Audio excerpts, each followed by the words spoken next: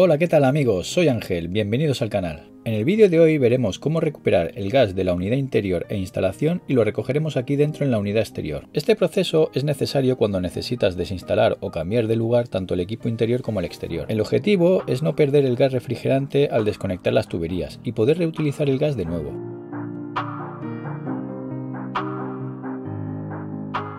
Tenemos de valorar que el gas refrigerante es muy caro, así que tirarlo al ambiente sería una mala opción. Nos cuesta mucho dinero y daña nuestra atmósfera. Para recuperar el gas necesitamos un juego de llaves Allen y otra persona que esté en contacto telefónico y con el mando de la máquina interior para poder encender o parar el equipo cuando nosotros le digamos.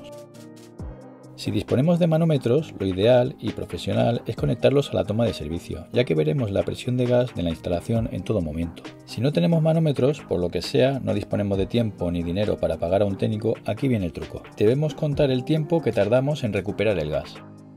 El proceso es el siguiente. Primero pediremos a nuestro ayudante que arranque el equipo en frío.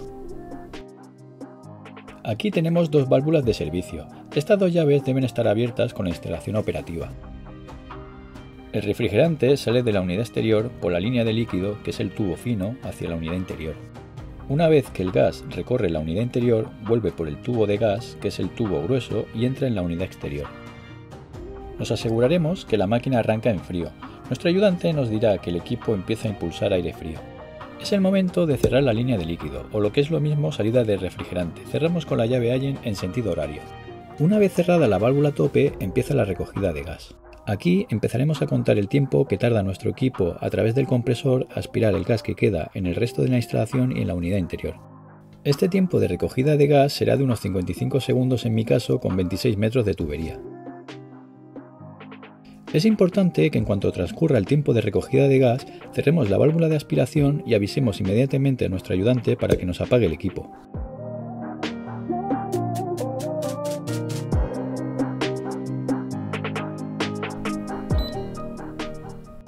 Evitaremos que el compresor de la máquina no trabaje más de unos pocos segundos con las dos llaves cerradas. Con esto evitaremos que la máquina no se estropee. Una vez recogido el gas en el interior y la máquina apagada, nos aseguraremos que las válvulas de servicio queden bien cerradas y que no fuguen. Si fugara por aquí o por aquí, habría que cambiarlas. También se puede poner teflón de hilo para salir del paso. Ahora ya podemos poner los tapones roscados a las válvulas. Así es como viene la unidad exterior de fábrica con el gas dentro. Ya podemos aflojar los tubos abocardados y desconectar eléctricamente para mover el equipo de sitio.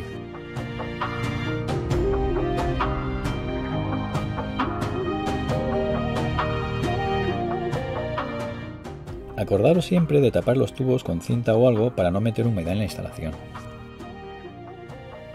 Y si quieres saber cómo hacer un abocardado con garantías, te lo explico en este vídeo. Y si lo queremos volver a instalar una vez conectado todo en su nueva ubicación, por la toma de aquí haremos el vacío. Date cuenta que con las llaves cerradas el obús conecta solo con la instalación.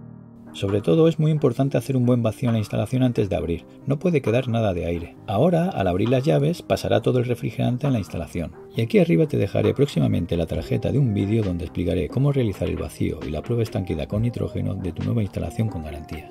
Y bueno amigos, espero que os haya servido el vídeo, si es así darle a like, compartir, dejar algún comentario, te animo a que te suscribas que es gratis, que así apoyas al canal y me animas a que siga subiendo más contenido. Un saludo amigos y hasta el próximo vídeo.